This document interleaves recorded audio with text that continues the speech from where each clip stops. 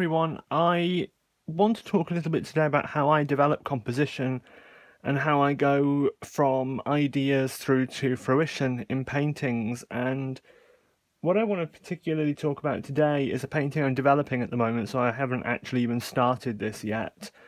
Um, I wanted to show as much of the process of how I do that as I could.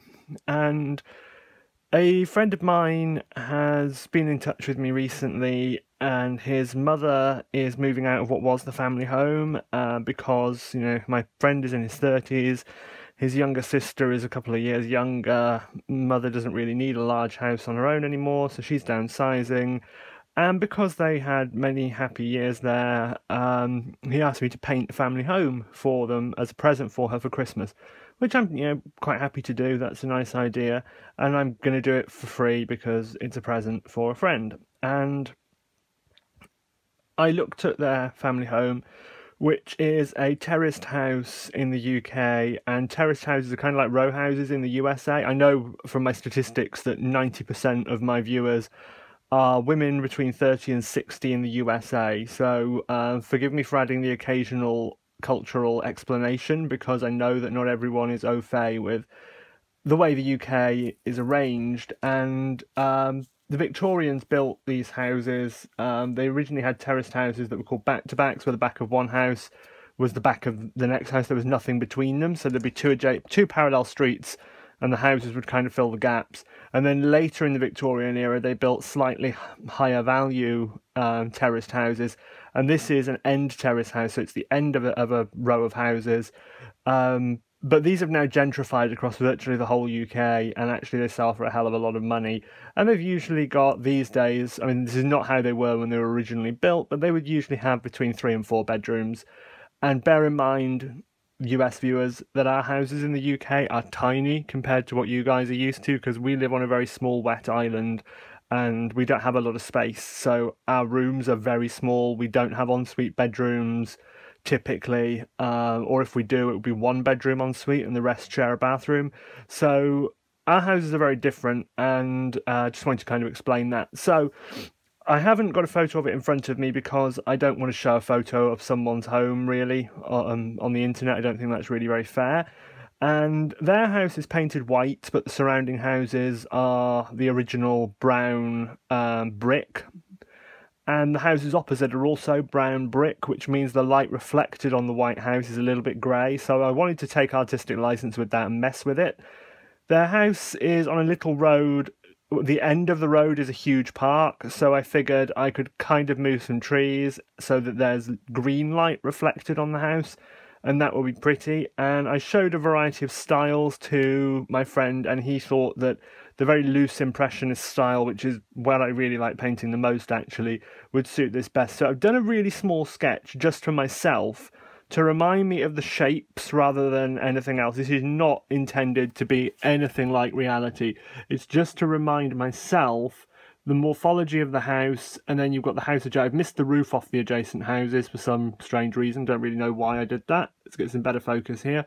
And the trees that I've added behind don't really exist. This gate here is in a kind of light red, Venetian red kind of colour in real life, and I've added these trees in a bit closer. And what I thought would be a really cool way of painting this would be to actually not paint the house and just mask out the area of the house, throw paint on the page to represent all these other things like the gate and the and the trees, then unmask the house and just paint in the windows. And that's probably what I'm going to do. But I want to test out some ideas. So I was going to colour this in with coloured pencils just as a reminder to myself of which bits are which colour. The door and the windows are not really purple, that was just me wanting to use the purple Inktense pencil because I haven't used it. So I've just painted it in uh, by, well, just sort of sketched in using the Inktense outliner pencil, which is a non-soluble pencil and to be honest is a complete rip-off because you could just use any old pencil. So don't buy that. Don't buy outliner 2400 any kind of um, H or F grade pencil, the really sharp ones that don't have a lot of kind of clayy stuff in them, won't smear when you get them wet, so you could just use that. I don't really know why I decided to buy that, but there you go. I used, just so that anyone watching who cares knows the colours, I used 1910 red oxide for the little gate, which is probably fairly accurate. I used Willow in the Inktense blocks to do all of the brown areas, and then the trees and so on were uh, leaf green and sherbet lemon, which is a wonderful acid yellow, and then the um, purple doors and windows are 071, sorry, 0720 thistle, and they're all in the Derwent Ink Inktense pencils range. And then I just used the Kolinsky Sable um, size 4 round from Winsor and Newton just to kind of spread that around a bit. I haven't really used my Inktense much, um, having since buying them, which is why I thought I really had an opportunity here to just play with them and I realised what you, the real trick is is to use as little water as possible. So there's my little tip for people. Um, I'm probably not going to use them quite so much um, now. I don't, or, or in this particular piece of work. But I wanted to explore composition and the process that I kind of go through because I do maintain quite a detailed sketchbook. I annotate my ideas uh, so I can I can use them again. So if this idea doesn't work, in three years' time when I'm painting a daisy and I think, oh, I could paint it as a negative image, I can go back and see what I tried out. So we'll see. Should add, it's absolutely pouring with rain today, and um, that's why I'm indoors doing a kind of Spin Doctor Sits video. And this is a Spin Doctor Sits and Composes video. So um, be warned, there may not be the most polite of language because I am going to apologise to everybody in advance here.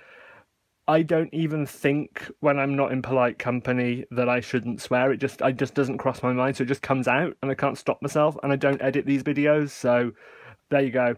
Um, a friend of mine, a colleague uh, who worked in the USA, she worked in New Orleans for most of the 1990s as a waitress. She's from Glasgow, and um, anyone who knows Glasgow will know it's a quite a tough city. And she was from a part of that city where it's mostly dock workers sailors, and uh, she learned some pretty fruity language. And when she was working in the USA, a girl actually said to her, an American girl she was working with actually said to her, you know, were you raised in an orphanage? Do you have parents? Because your language is absolutely the most disgusting I've ever heard. And I don't think she's as bad as me, so uh, I'm on best behavior when I do these videos, really I am. So what I thought I'd do is try out this sort of masking of the shape and then um, seeing how it goes. So the first thing I want to do, I transferred this shape by measuring from the uh, the actual street view image that I was sent, and I just want to annotate it um, with the actual uh, ratio of the house because I want to maintain that when I expand it and I'm not actually going to start the actual painting today. The actual painting, oops, we're out of focus, I'm so sorry. The actual painting will be done on Arches most likely or Milford because I want to use translucent or transparent watercolours I should say and I want to use a very, very hard size paper like Milford because if you use transparent watercolours on it, you get a much brighter, more luminous effect because they don't soak into the paper fibres at all. They sit around the paper fibres. And if you watch my video that I will link in the iCards right now of my review of Milford versus Waterford versus Bockingford, you will see that it is really striking how bright and vivid it looks. And the other advantage of Milford is it everything lifts so easily. Um, I lifted even some of the most staining colours, which if you watch my video in the iCards, on things that stain and things that don't, and you'll remember that it's phthalocyanines, quinacridones, and reds stain, PQRS. Um, phthalo blue, quinacridone magenta, lifted 48 hours later 100% on that paper, which really impressed me. It's a 100% cotton paper as well, and I find cotton papers tend to stain depending on their sizing, but uh, one with the same size as a wood paper or a chemical pulp paper for me will stain exactly um, will stain far worse than a wood paper or chemical pulp paper, I should say. And as always, while I'm doing this, I'll be talking about what's coming up on my channel. And if there's anything that you're interested in seeing, or you'd like me to try out, or you'd like me to review, please put it in the comments because um, I, I use that. Um, I, my last couple of 101 videos, my gouache 101 and my watercolor paper 101 have come from people requesting them here and in other locations so please do um, please do comment. So what i'm probably going to use to actually try this out um, i don't think i'm actually going to sketch out anything yet. I'm going to come back to my sketchbook. What i'm going to do instead is um, start working on some paper. So this is bockingford 425 GSM, which I think is 250 pound, maybe 200. I think it's 200 pound or 250 pound, but it's one of the pretty stiff ones. And I'm not going to bother stretching it because this is a sketch. And if you can see, the bottom is diagonal because I cut this myself from an imperial sheet. It's actually an offcut um, from something else I was painting. So I'll just get an idea of the morphology of it. It's 12 inches by just under nine and a half inches. And because I'm painting a house, there comes the question of do I do a portrait house with not much stuff around it, or do I landscape house with lots of stuff around it? And because I'm mostly painting the stuff around it and not really the house, um, and I'm going to want to leave some space for mounting, um, I think landscape is going to be better. Now, I've talked to my friend already, and he agreed that there was no sense in doing anything bigger than about A3, as we would say, which is double A4 in the UK, once in a frame because she's moving somewhere small and she won't have anywhere to put it. So I've just ruled roughly one inch in using a Derwent watercolour pencil, I think, or a Coloursoft pencil in ivory black. I think it's a watercolor pencil. Let's just check that if it because if it's going to dissolve, I want to know so I can just avoid it. Yeah, that's a watercolor pencil. So that's fine. Um, I mean, this is a sketch. This is part of the composition process. This is so I can work out for me, does this technique really work? Now, what I'm going to use as my mask, rather than gallons of masking fluid, is some transparency and I'm going to tape it down. So I measured before that it was one and a quarter inches high by one inch wide. So I've got a one to 1.25 ratio that I need to achieve. And because the house is has a roof, it can't be any taller than that. So it can't be taller than that distance because it's got to have its roof. And I want room for the trees, of course. So I want to actually have it kind of in the middle, so it's got some foreground as well, and the roof will take it up to about here, and then the trees will make up the walls of the house. I may even remove the roof. I don't know. I may even remove the, the actual roof and, and actually move the house up and do it as though it's kind of blurring away into the background on all four sides. Not quite sure yet. So I think I'm probably not going to cut this smaller than or larger than a certain size. So let's have a look here. I think, first of all, I might do about five inches in that direction. And now I need to divide that by five and multiply it by four to get the other direction, which of course gives me four inches. So I want a five inch by four inch, and I've got my permanent pen that paints on writes on overhead projector transparency because it is actually an overhead transparency pen from the good old days where we still used them. And I'm not being careful. Um, if I was doing this, you know, for the real thing, I would be using a T ruler and I would not be doing it on a diagonal angle. And I certainly wouldn't be talking to you, you know, much as I love you. Wouldn't be talking to you sat there in your underwear watching YouTube at three o'clock in the morning because you can't sleep. That's probably just me. And I could do this with masking paper. I could do this with just a load of tape. Um, I could do it by cutting a stencil um, and cut like a, a, a reverse stencil out of stencil paper and what I find good for stencils someone asked me is there is a I've not actually used it much I've tried I bought some and I tried it there is a waxed manila stencil paper that you can get that actually I think is pretty good. So I cut just a rough piece of acetate there and I'm going to position it pretty roughly. I mean, this is not even lying flat at the moment, so that's how careful I'm being. And let's see if I can find the tape. There it is. I buy really crap Artist's Loft cheap, awful, nasty, filthy uh, watercolor painter's tape because it's so rubbish you can get it back off again. You don't want to buy a really good quality high tack tape. You want one that's actually a bit rubbish. And if it tells you in the storage instructions to store it in a cool, dark place, don't because you want the glue to perish a bit. You want it to be a little bit rubbish so that you can actually get it back off the paper. And you can do the card maker's trick of putting it on the inside of your arm and peeling it off to cover it in skin cells because that helps you to remove it as well, but I can't be bothered.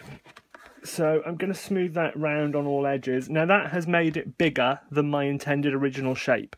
So what I'm going to have to account for when I do the real thing is the width of the tape because when I put that on, when I was going to put it on originally, I was only going to put a very small lip onto the paper, but this tape, with it not being very tacky, actually needs more of it on the paper than it does on the acetate. So I've now got a shape wider than I intended to have, but I can work with that.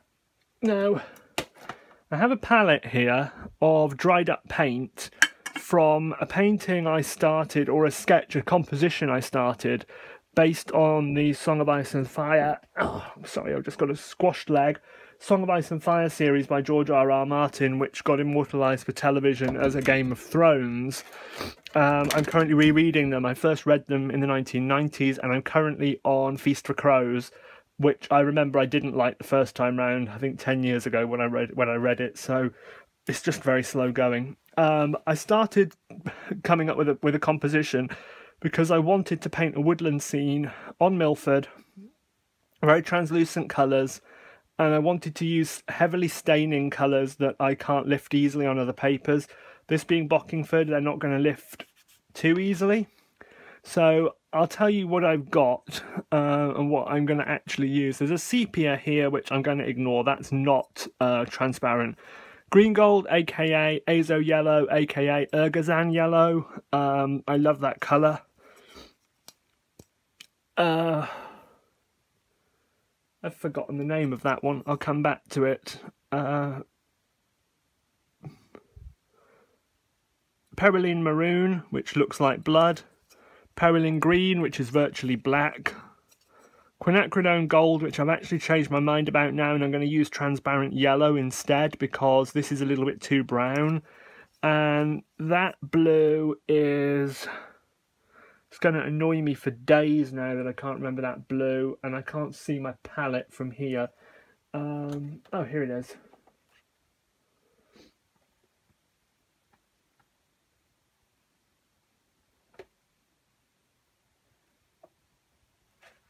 I'm so sorry, I can't read today. I'm having one of those days I can't read upside down. Indanthrene blue, of course it is. I had in my head imidazole blue, and imidazole is some chemical we use at work, and going slightly mad here. Sorry, ladies and gentlemen. So, um, to add some water to those and start throwing some paint around. And I'm using a one inch Prolene flat from ProArt just because I like it, really. And I'm going to start with the um, green gold because it's pretty and I just want to get it down. Uh, and the colour that's in the middle of the palette, that neutral, is the neutral you get from mixing Perylene Maroon, the Blood Red, with Perylene Green. Um, they're very compatible together, they make a nice transparent neutral. So first of all, using clean water for a change, because I've just done my water, I'm going to wet the edges of the paper um, I don't rate Prolene brushes for wetting the paper. I don't think they hold enough water for really sloshing it on.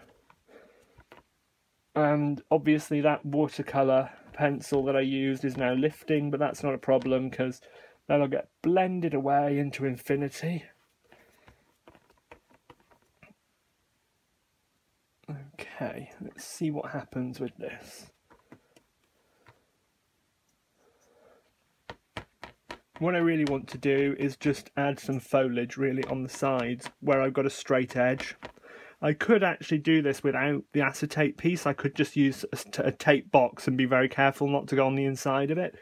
The reason I put that in there was one of the ideas I had, which I'm probably not going to do because it seemed a bit too wasteful and messy, was to um, take, if I was going to do it in the portrait morphology, what I was going to do is over the upper half of the painting where the trees would be, was just pour on some Perylene Green onto the acetate, let it run off onto the paper, dry it upside down so you get the kind of branches kind of effect, but I could just see it being one of those things that I'd waste about 10 pieces of paper until I got it to look how I wanted it. So I gave up on that idea. I figured it was uh, a little bit too messy. So now I'm wetting that Perylene Green. These have been dried in my palette for about a month. And they just totally re-wet really easily. Uh, I'll link in the icons now in my video on Winsor & Newton paints and um, differences between using pans, tubes and re-wetting tube paints and you'll see that you know you can see how easily this is re-wetted. They do say in their marketing materials that their tube paints don't re-wet reliably. It is total bollocks. All they have to be able to say to, to say that is that in one experiment in the lab they're not quite as good so they can be perfectly dishonest so that people will buy pans thinking they have to buy pans and tubes. But look, I don't use pans really, so um, this is working fine for me. For um, things coming up on my channel, that's just reminded me, I've actually got on order and they should be here next week. Some of the giant pans from Winsor & Newton, the porcelain pans, and I've ordered French Ultramarine, Yellow Ochre and Burnt Sienna because I use them a lot. I was going to buy permanent rose, quinacridone rose, but changed my mind. So now using uh, Perylene Maroon, which, yeah, I think I'm going to have to go to the tube and get some more of that. Um, oh, there might be some in a palette here. Yeah, there's some in a palette just nearby. Let me just get some off that. I just wanted to kind of put in that gate and just sort of hint at its presence. It's going to bleed, but that's the idea. This is the bottom coat, of course.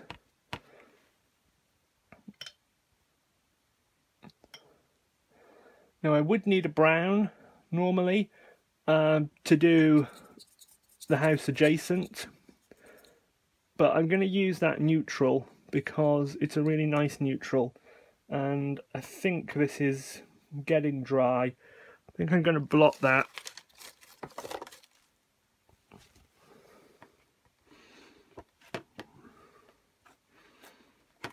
Blotting with a microfiber cloth um, lifts off a lot of paint, so I just needed something to give a straight edge and to allude to the presence of that house. Look how lovely and dark that is. Isn't it wonderful?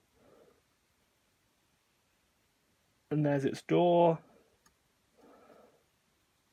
And I'll put in a window as well.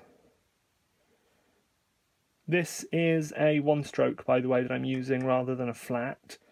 Uh, if you actually know what the difference is, then well done. If you don't know what the difference is, it's not going to make much of a difference to you. I am going to do a brushes video. I've done a brushes video already, linked in the iCards, but I think I'm going to do another one because people have been asking me to do a brushes 101, even though my brushes video that's already out there is out there because people are asking what brushes should a beginner use, and the reality is you use what you like, but you use the best quality brushes you can afford. So these really god awful pony synthetics I don't recommend for beginners. I would rather, like with paints, I think it's better if you buy six colours warm red, warm yellow, warm blue, cool yellow, cool red, cool, cool blue in professional and a flat and two size rounds and maybe a large flat. That is better than buying a whole swathe of brushes and 30 paints, honestly. You really can't go wrong with a small palette and a small number of brushes.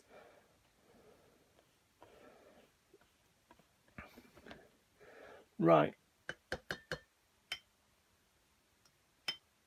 I think that is most of that kind of external area done. What I'm going to do is add some more Perylene Green to the top outside of the wetted area, so the area that's just was dry paper underneath.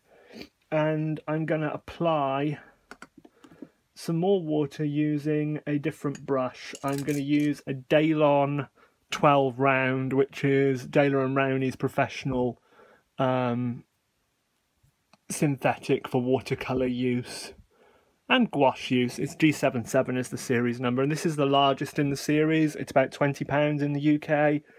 Um, really thirsty brush. I mean, it's just drunk everything from my palette using it, and I just want to use that to make it a bit more kind of tree-like with less kind of square edges because this ain't urban sketching. I do actually want it to kind of have some lifelike qualities. And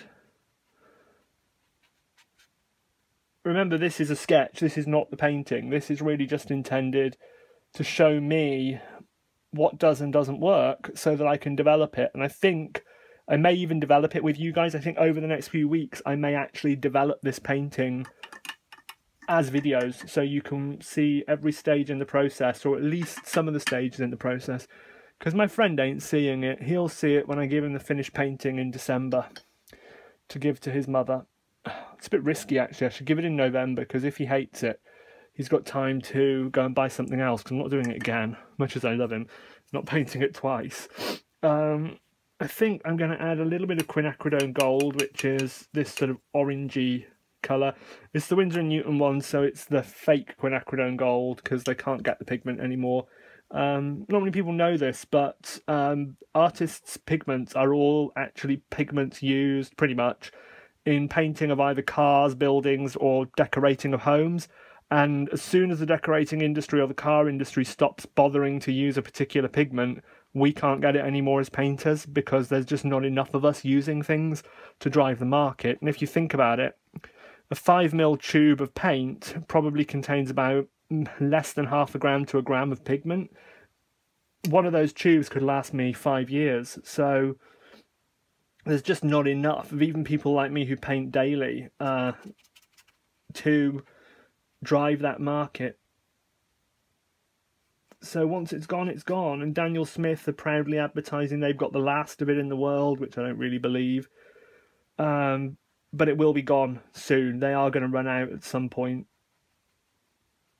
But so if you are in um, in a shop and you see quinacridone gold in old packaging from any manufacturer, if it's got a PO pigment number on it rather than two or three pigment numbers, buy it because it's the original recipe and it's really good stuff. Going to use a little bit of sepia now, which I said I wasn't going to do, just because I'm curious to see I've used a shadow colour on that side and I'm going to use sepia on this side just to see what difference I get. Because this side's a gate, remember. This side's not a house, it's a red gate. I don't know whether I can allude to the gate stripes. I'll let that bleed in and see what it does. Use a little bit more of that shadow colour to just emphasise that edge a little bit more. And playing, I'm not trying to make a painting here. What I'm trying to do is try out a load of techniques roughly in the shape of my intended building and kind of see what happens.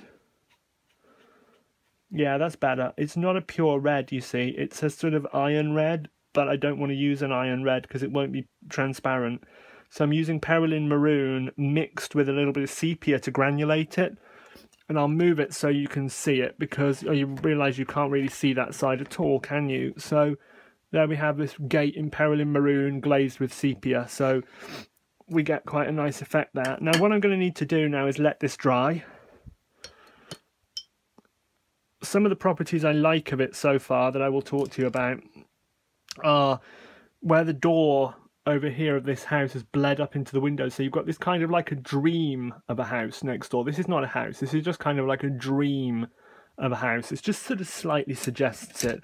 Um, and what my intention to do was when I paint the actual house itself here, I will paint it more literally. I will paint it in detail with window boxes and flowers cascading, but keep the house background as white as I can without adding any shadows because these areas give me that texture. I think I'm going to paint across the bottom because I think having some texture at the bottom is going to help give the house some grounding. Otherwise, it might. I don't know. Part of me wants to leave it so the house bleeds into the floor and the, the door kind of reflects away into the floor. So, what I think I might do is slap a load of water on the bottom. And I know that their door is blue. So, if I were to imagine where I would paint the door, if I reflected away and let that bleed, and I also add a line of it across, when that's dry, I can paint a solid literal door above here and it'll be like a reflection. It's a nice little technique for getting reflections. Another one is, sorry, you can't see that very well. So I've painted that kind of where the door would be reflection. Another way to do it is you actually paint in all the shapes you intend to paint. You paint the door and then you wet the area underneath the door and hold it vertical so that the door kind of bleeds away into the area underneath and then you paint the door in itself properly later when it's dry. And you see that if you look on Lindsay the Frugal Crafter's channel, I have not got a clue what she called the painting, but she has this brilliant coloured painting where she uses um, I don't know what it is. It's like a cobalt blue, I think a quinacridone rose, and a gamboge together to paint this building in Italy in three colours. And it's the most wonderful, dreamlike, beautiful, wonderful piece of art at the end that came from a really boring photograph that she found on Paint My Photo that she just livened up by using crazy colours. And that technique she uses there to give this kind of false reflection, um, which makes it look like it's above a river, whereas in reality it's just on a tarmac street. So it does add a lot of interest. So I'm going to let this dry out now, and then I'm going to come back and film some more.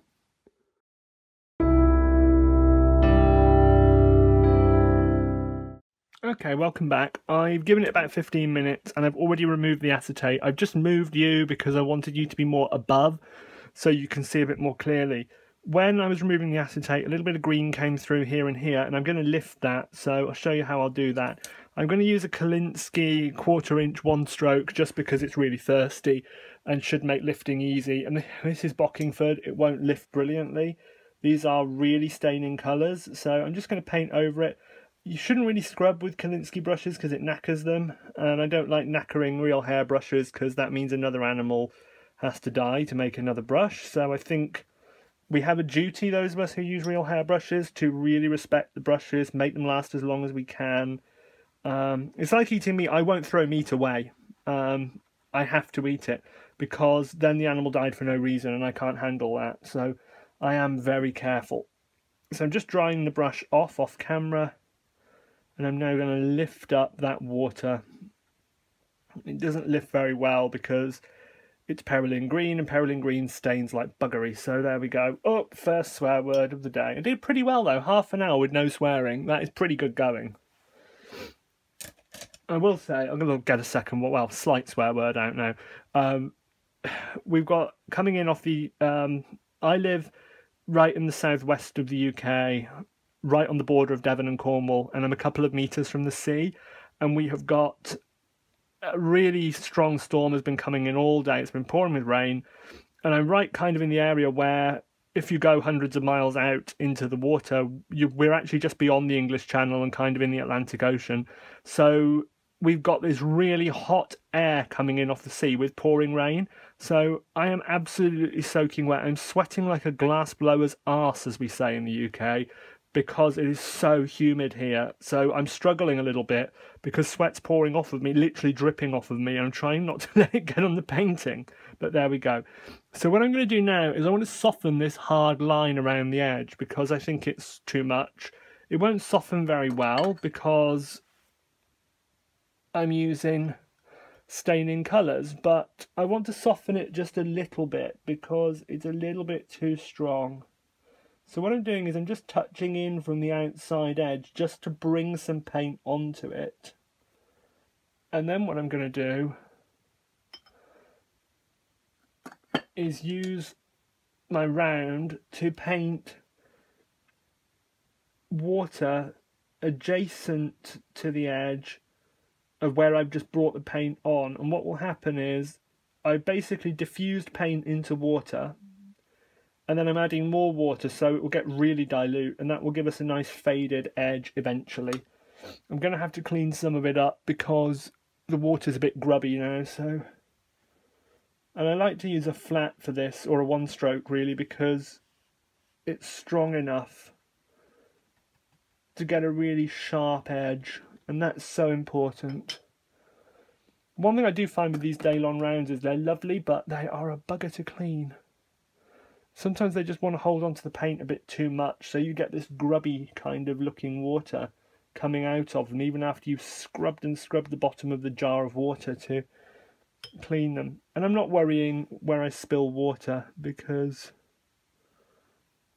you know, it's not the end of the world. I'm not softening the right hand edge as much because A, I want to see if it looks very different, and B, I kind of like the idea that the light's coming so that there's a shadow on that side. That's how I'm kind of viewing this at the moment. And what I'm going to do now is dry this one stroke. I keep calling it flat, sorry. One strokes were sign writing brushes once upon a time, but they got appropriated by watercolourists and I just want to use this dry to just lift out some of that water. So I am going to get a grubby edge. I'm not going to get a soft edge. I'm going to get a soft er, but there will still be a line edge. I could go all the way across if I wanted to and really soften it, but I like the idea of having that white. Um, my friend's family is Scandinavian. They came over from Denmark when he was, I know, seven, I guess and and I've known him over ten years now. I actually taught him. Um, actually, was a former student of mine who I stayed in touch with because that's what often happens. I taught him for two and a half years, I think. So then people stay in touch with you if they do research in your laboratory, and he's become a very good friend over the years, as sometimes happens.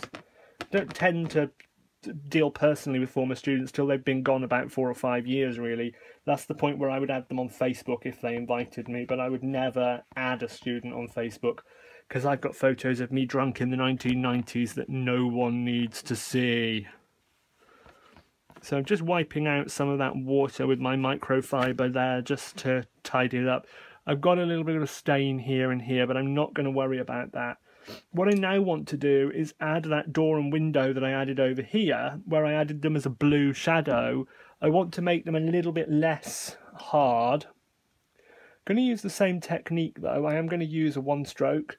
Um, but I want the door on this side to be more literal. So I'm going to be painting wet on dry with my one stroke here. And I'm going to paint just above where I made the shadow of the door. and it's important to me that it stops on a hard line and it isn't perfect because it has this slight bend at the bottom but I'm going to try and rescue it and it's going to go wrong but you know and what I love about Indanthrene Blue is that wonderful transparency and if you can see that you get this lovely transparent blue I'll just get focus on there for you there you go it's a lovely alternative to ultramarine if you want a warm but very staining blue. There's no granulation here. This is a dye. It's not a mineral at all. So it gets deep into the paper and it stains like mad. You can't get it out. I've left it so that there is a hard area at the top because that will give the impression of the ledge above the door. I now want to add the windows and I think I'm going to do a very soft uh, glaze, I guess. Or it's not really a glaze because I'm not glazing over anything using Indanthrene blue and I'm going to dilute it right down by diluting it in one well of my palette, soaking up a brushful into the next well and adding more water so that I've got a really diluted version of it. And I'm just going to sort of paint approximate windows not quite based on the sketch but sod it this is a test of technique. This is not a um, painting. This is just to see if the style I want to paint in actually works for me. I want something very vibrant. I know my friend's mother, and I know she would like a really vibrant image. Now I'm going to go into the slightly darker, and I'm going to put some shadow by just touching. And that's what's nice about a one stroke is that you can touch it and get a sharp line and then let that bleed across and that will give you Quite a nice shadow, but you've got to do it while it's still wet because you get a back run otherwise. Mean, that's what I love about the one stroke. You see, you get that almost razor-like edge. It's wonderful. And now the roof of the building, which in real life is brown. Um, I could make a brown here. I think I'm going to put a little bit of that neutral that I made, which is the red-green mix. Add some Quin orange to that. Now, hang on, Quin Gold isn't orange, so let's think about the colour wheel a moment. The complement of green is red, the complement of yellow is purple, therefore the complement of orange is blue. So, if I add some Quin Gold over here, and I add to it some of this Indanthrene blue, I should be able to get a decent, there we go, sludgy muddy colour. And if I, if I add more, I'll get a perfect, a near perfect black, but that's not what I want. So I want that diluted down now, that's too strong. It is a little bit green, but that's not really the end of the world. I can add a bit of red to it. Just knock out that green tone and make it a little bit more brown.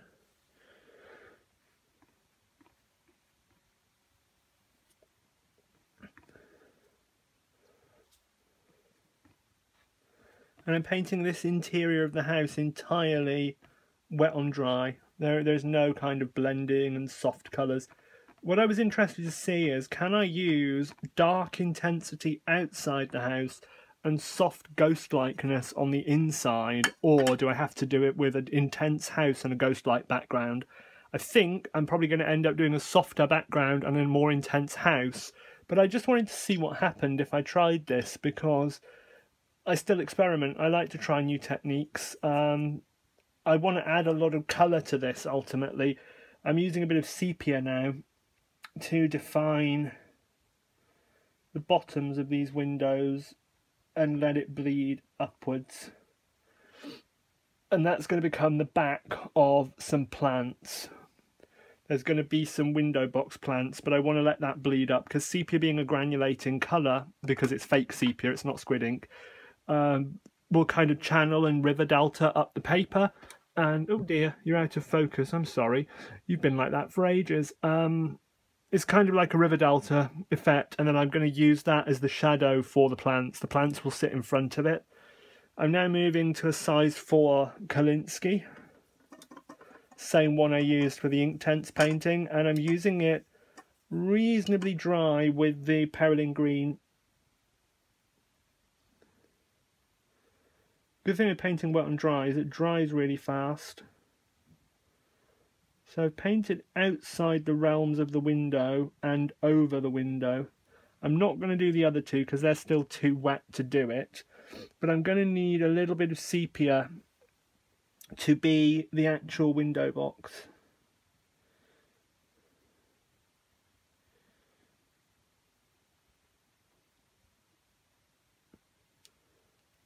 And then we've got the plants and I'll just add some drops of colour. A little bit of green gold a bit of variety there a bit of Quin gold and some Perylene maroon that blood colour. And if you can just make that out you get this dreamlike window box where the colours are just sort of hinted at and what I think I'm likely to do in the um, finished version is I might use that technique for the adjacent houses and do a more literal version of their house. So that's the importance of playing really and of sketching and trying different techniques is that you learn what's right for the subject. And some subjects lend themselves to some techniques better than others do. And th there's nothing wrong with that. I could not paint this house because it's a former home and so on as a photorealistic image because then a what's the point? What's the point in photorealism in watercolor come on watercolor lends itself to impressionism and blurry soft images. So i don't want to do that. I want to have a slightly more abstract image. And I want it to be dreamlike because it's in the past.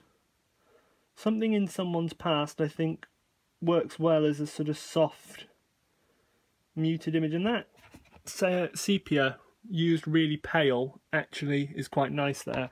So I think lesson learned on the sepia front, use it really dilute because you get a translucency which is really nice to have. Completely ballsed it up at the bottom. I done a wonky window box, but who cares?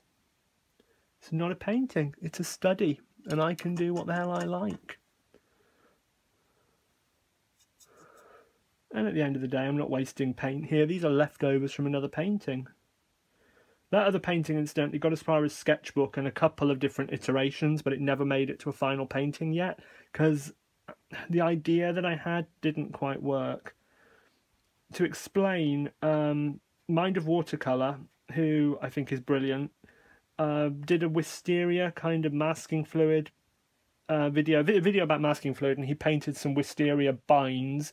They're not vines on a wisteria; they're called bines, B-I-N-E-S.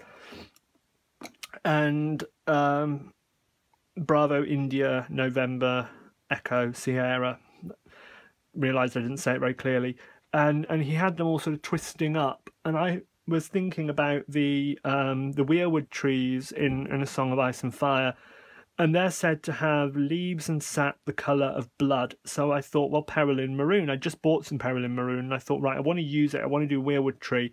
So what I came up with was rather than doing it the way they're shown on the TV show, because we don't really know a lot about them in the books. We know that they're white. They have white bark and these blood red leaves.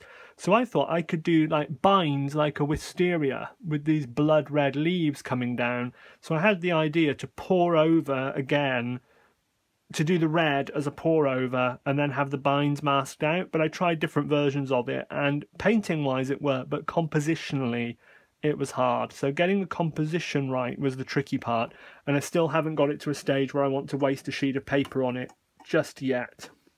So over that area I painted in with that translucent brown I did earlier, I'm going to throw on some sepia along one end and take it out just to see how it looks. I kind of got the light coming down this way a little bit, so this side has got slightly more shadow than this side. I'm not going to add any detail to the background at all. Um, the background is what it is, it's just a sort of an echo that the house sits within and on the whole, I mean, it's a crap painting because it's got wobbly edges. I mean, I've spent what thirty minutes on this, forty minutes on this at most. I would spend a lot longer on this if I was doing it for real, and I would do it in stages. So I would have done like the pour over of the green or whatever, let it dry overnight. I would have done the gate, let it dry overnight, and then I would have probably spent a day doing a window and then breaking for a few hours and doing a window because that's the way I like to do it. I like to have lots of gaps but the idea of keeping the paint, the paper absolutely white has actually worked quite nicely. But I do want to try another way of doing it. So let me just show it to you and then we'll have a think. So obviously it's still wet, but you can see that kind of roof there. Dreamlike windows and then the door with its reflection fading away. But you can see this is pristine white paper. No shadows, no shading, but I think it works. Now, in reality, these windows would have frames on them and they would have um, curtains behind them, which I would need to add if I was going to do it more literally, but we'll see. What I'm curious about is how this house would work if I did a wash of a really, really, really light um, blue. So, you know, as a shadow to add texture. So I'm going to try that on um, some other paper. I'm just seeing if I've got any scraps around of um, Bockingford or of similar paper.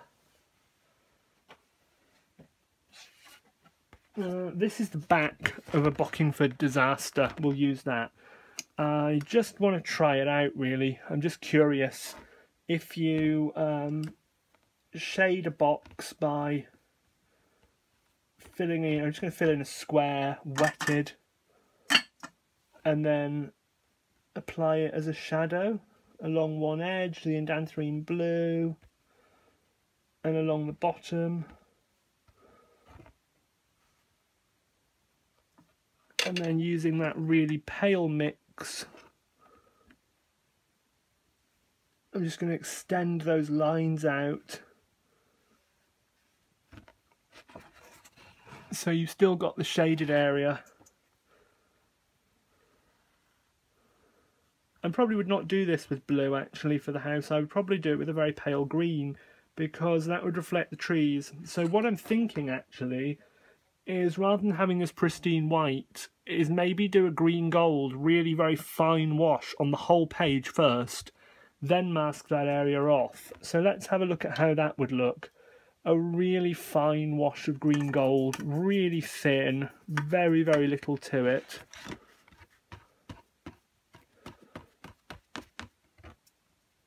I do like when I use a large brush, I have a tendency to hold it on the ferrule like an extension of my hand rather than like a brush. I find I can be more aggressive when I do that. And just for the sake of fun, I'm just going to throw in a little drop of Perylene maroon, Perylene green along one edge just to see how that looks when it's dry. It's not intended as a proper colour test. So you can see there really, really light green and then just a hint of shadow. And I think actually that might be what I'm looking for because that white on its own actually looks pretty harsh it works in that the negative space idea really works, but I think I can't. What I had in my mind was a pristine white would work, but it's too clinical. So I think I'm going to wash the whole page in a very, very, very pale yellow green to reflect the trees on the other side of the street in my imagined version of their street. It's actually brown houses on the opposite side. Then paint in the wet on wet around the edge. So I may only actually uh, sort of paint the middle, dry it, then do the wet on wet around the edges. And I think when I do that, I almost want to reverse what I did. So where I've got these very literal door with the dreamlight reflection, but the windows are really murky, I think the windows of the adjacent house should be like this. And the windows of this house should be painted in literally with fine lines, curtains and everything else. So that's taught me a few techniques that I'm probably going to use, which colours work well. Like I love where the Perylene red the Quin gold, the green gold, and the green kind of merge to make that. You know, we know because we're we're used to the house. We know there's a gate there. If you look at it knowing the house, you know that that's a gate, even though you can't see a gate in reality. And to remind you how the original kind of looked, it was a gate there, a red gate, so it kind of works. So I'm going to come to the end now because I don't like these videos to really get more than an hour. That is the Spin Doctor Sits and Composes, part one. Um, I might call it Spin Doctor Sits and Composes a Christmas present, maybe. Don't know. Um, but there it is. So um, I'm probably going to be doing some more videos coming up soon. I've had some audio problems, which you may have seen in another couple of videos. I know what caused them. Thank you to all the people who told me they thought it was a mobile phone. It was not a mobile phone. It was a problem with some software on my computer when I was importing and compressing the videos that was causing interference because it kept popping up and doing things like a virus checking kind of thing. But I've solved it, so future videos won't have that. Um, just to show you what else I've been painting while we're sat here, I've started this um, kind of cave painting style mountain. I started it ages ago actually and I stopped. And what I want to do is paint the whole painting in uh, red, reddish browns and yellowy browns. And let me take you out the tripod and show you. So you can see here the sky is white, brown, and then this dark grey, which is actually Jane's grey. It's um, French ultramarine and burnt sienna, but very, very dark and intense, mixed with cobalt blue and cad orange and I think I put some yellow ochre or Naples yellow in it. There's no blue visible. There's blue in there. There's ultramarine and cobalt blue in the mix, but no visible blue. And what I liked was the idea of doing this whole thing in the colours of cave paintings, just so that there's no normal colours. It's just neutrals, really. See how it goes. Just doing it for fun. Thank you all very much. Bye-bye.